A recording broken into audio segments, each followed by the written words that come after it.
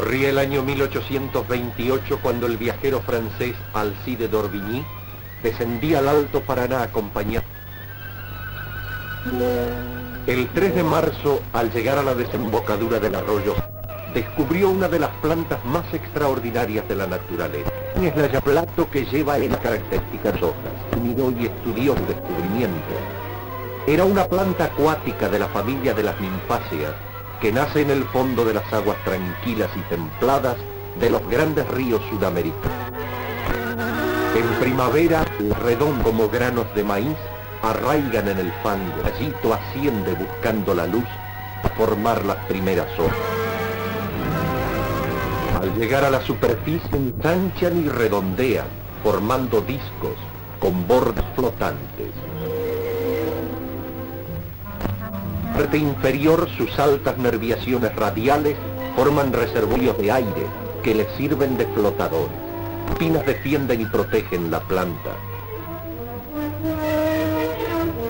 Durante el verano, las yemas apicales de los tallos se transforman en capullos florales, emergen del agua.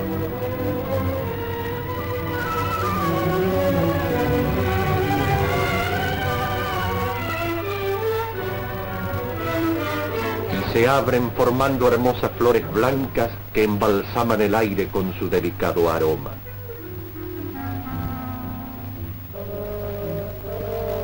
Fecundadas las flores se cierran.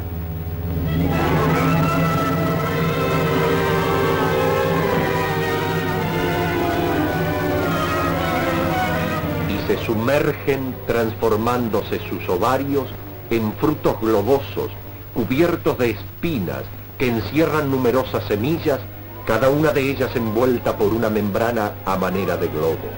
Al descomponerse el fruto, los globitos ascienden las semillas a superficie, siendo diseminadas por las corrientes. Cuando Dorbiñí quiso alcanzar la hermosa planta, los guaraníes le gritaron, Detente Arandú, tu paz protege el Irupé. Cuenta la leyenda que en estas selvas vivió una joven india que había nacido con un mal incurable. Amaba a la luna.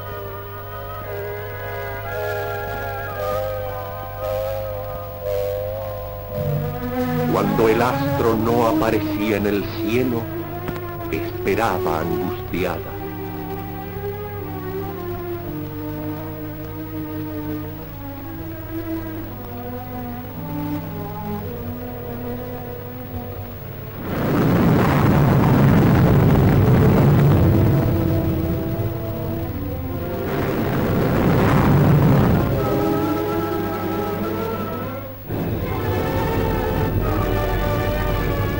Contrariada corría a refugiarse, llorando sin consuelo las noches enteras.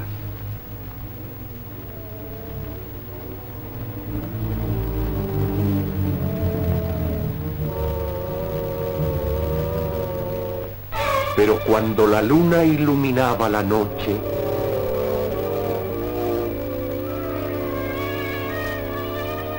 La enamorada vivía el más apasionado de los idilios.